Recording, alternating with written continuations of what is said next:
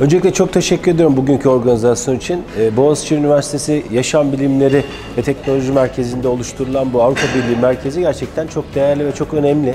E, Çünkü e, Türkiye'nin katıldığı en önemli Avrupa Birliği programlarından bir tanesi Ufuk Avrupa Programı ve Boğaziçi Üniversitesi bünyesinde oluşturmuş olan bu proje merkezi de e, özellikle Ufuk Avrupa Programı'na daha fazla proje üretmek açısından da çok önemli hizmetler sunacak. Ama bunu sadece e, Türkiye geneline bir hizmet olarak değil, aynı zamanda Brüksel'de oluşturduğu bir network'le de sağlayacak.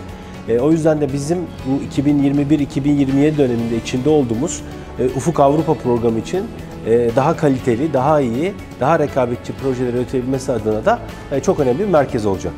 Elbette tabii Ufuk Avrupa Programı çok önemli bir program, çok geniş bir program. İçinde e, hem bilim insanları için, akademisyenler için, e, araştırmacılar için e, bilim destekleri var.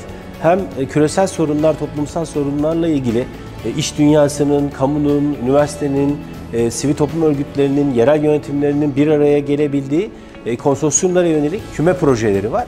E, Aynı zamanda da girişimciler ve girişimci ekosistemleri için de sağlanan destekler var. Yani baktığımız zaman e, birçok farklı tematik alanda e, birçok farklı destek sağlanıyor.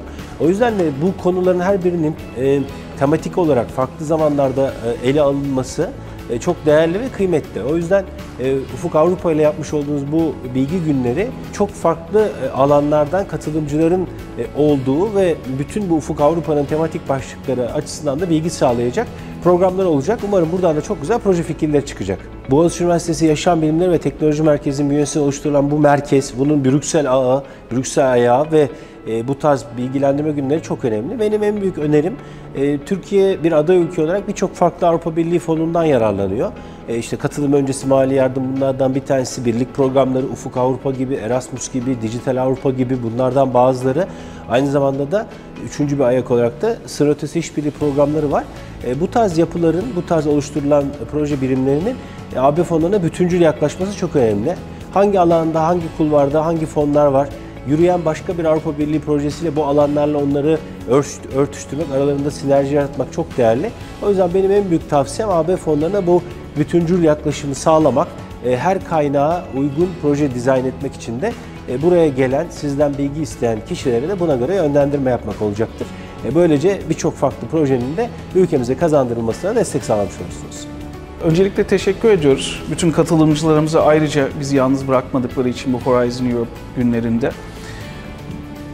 Lifesci bünyesinde kurulan Avrupa Birliği Çalışmaları Merkezi, daha doğrusu Avrupa Birliği İşleri ve Uluslararası Fonlar Merkezi, bugün baktığınız zaman mevcut yapısı içerisinde Avrupa Birliği başta olmak, Horizon başta olmak üzere Avrupa Birliği merkezi kurulan üç sac ayağında hem lobi faaliyetleri dediğimiz hem network faaliyetleri dediğimiz hem de projeleri çalışmaları yapan ve Türkiye'de henüz muadili bulunmayan bu anlamda bu kadar detaylı çalışan Türkiye'deki bir üniversitedeki ilk ve tek merkezdir.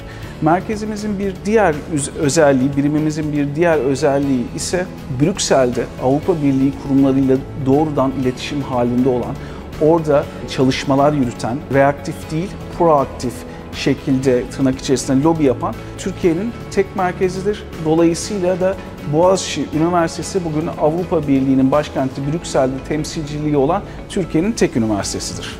Horizon günlerindeki amacımız öğretim üyelerimizi, paydaşlarımızı, e, özellikle bu işin öncülüğünü yapan TÜBİTAK ve AB Başkanlığı gibi kurumlardaki yetkililerimizi bir araya getirmek, paydaşlarımızı bir araya getirmek, üniversite sanayi işbirliklerinin kurulmasına yardımcı olmak gibi çok amaçlı birer çalışmadır.